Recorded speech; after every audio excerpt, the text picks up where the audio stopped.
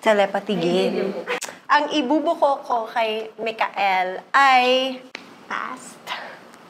Hey guys, what's up? Mikael Dies here, aka Fofo. And I'm Megan Young, aka Bonizi, and this is the Couple Telepathy Challenge.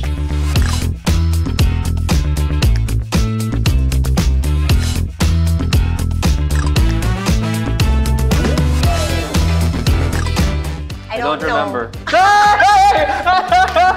Pasok yan!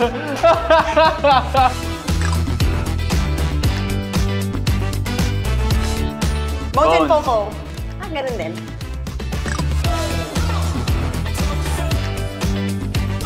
I love you. Mukulog! Mukulog!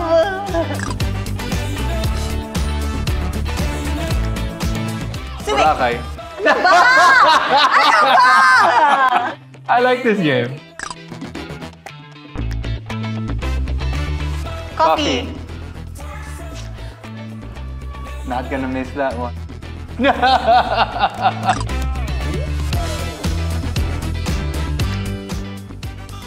Ano ba? TikTok dance step yung ginawa natin last time. Feeling lonely. I always do this, right? Tik ginagawa mo ba sa TikTok 17? Hindi naman kasi ako yung gumawa nun. Come, yung come move ko lang, my ganun world. lang. Katayin mo. Katayin mo. Ha? Hindi ko maalala. Alam ko lang yung... World! Ganyan. World! Oh, yan na. World! Woohoo. Royal Amaya. blood. Sinadya mo.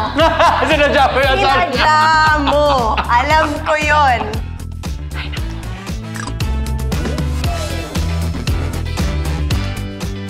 Hot. Hot.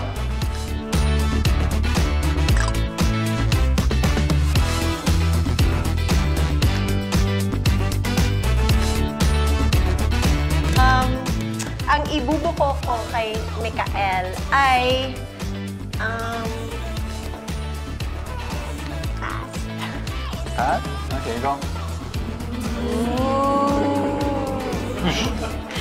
Ang ibubuko ko kay Mikael ay ako ang pangalawang girlfriend lang ni Fofo. Oh. After the first, ako na yung second. And the last, Ang tanong, sure ba siya? sure na sure!